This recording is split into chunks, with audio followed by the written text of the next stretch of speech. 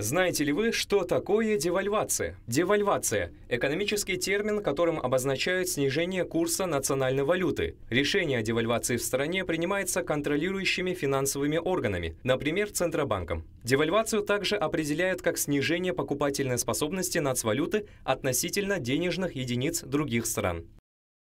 Между тем различают два вида девальвации – открытая и скрытая. Открытый тип. Центробанк официально сообщает о снижении курса национальной валюты. При скрытом виде наблюдается постепенное понижение стоимости национальной валюты. Официальные власти стараются не афишировать девальвацию для того, чтобы не вызывать ажиотаж у населения и провоцировать скачок цен на товары.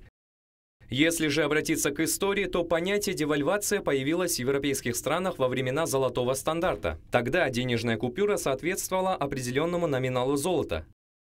От этой системы отказались во время Первой и Второй мировых войн. Денег на вооружение нужно было все больше и больше. Государство печатало их уже не глядя на поддержку золотыми ресурсами. В итоге деньги просто обесценились. Это и было первой волной девальвации.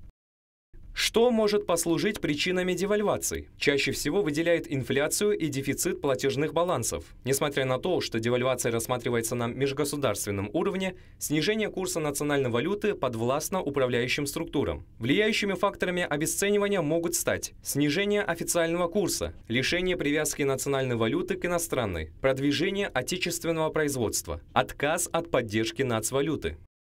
Впервые о девальвации казахстанцы услышали 4 апреля 1999 года. Тогда доллар резко укрепился с 88 до 160 тенге. К августу обменный курс выровнялся и удерживался на уровне 130-135 тенге за доллар. Вторая девальвация произошла 4 февраля 2009 года. За несколько часов стоимость доллара в обменных пунктах выросла со 128 до 170 тенге. Позже обменный курс тенге к доллару установился на отметке 150 50 тенге. В феврале 2014 года Нацбанк Казахстана объявил о третьей в истории страны девальвации тенге. Курс доллара к тенге вырос со 155,5 до 185 тенге. Через полтора года тенге отпустили свободное плавание. 20 августа 2015 года на утренних торгах нацвалюта упала с 188 до 255,26 тенге за доллар. На сегодняшний день курс тенге колеблется на уровне 330-350 тенге за доллар.